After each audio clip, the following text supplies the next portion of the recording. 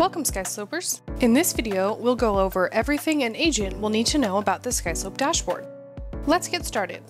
Here we are on the Skyslope dashboard.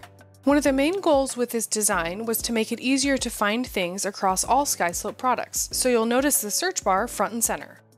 You can search by name, address, MLS number, and more to find just what you need. And matching results will be shown for Skyslope listing and transaction files, Skyslope forms files, and DigiSign envelopes.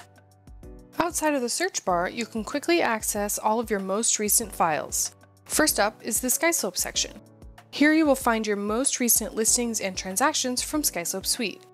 You can use the quick navigation buttons to jump over to view all listings or all transactions. If you need to start a new file, click Create New to get started.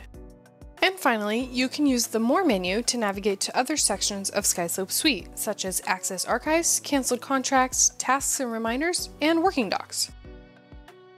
Let's move on to the next section, Skyslope Forms. Here you will see shortcuts to your most recent files. You can click Draft a Listing to start a new seller or landlord file, or click Write an Offer to start a new buyer or tenant file. You can also click Browse Libraries to browse the forms in your libraries outside of a file.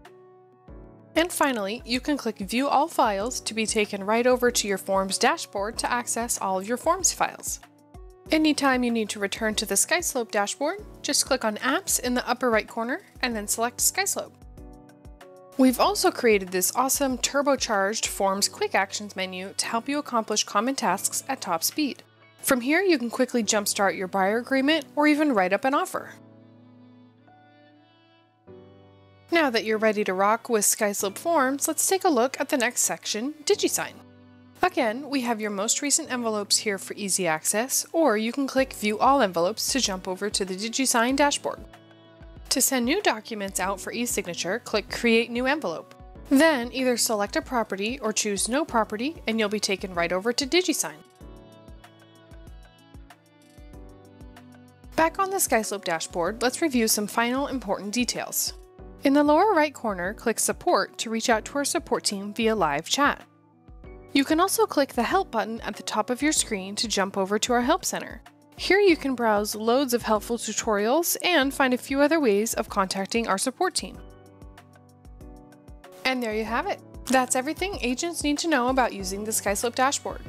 If you have any other questions, please don't hesitate to reach out to our 24-7 support team. Happy Skysloping!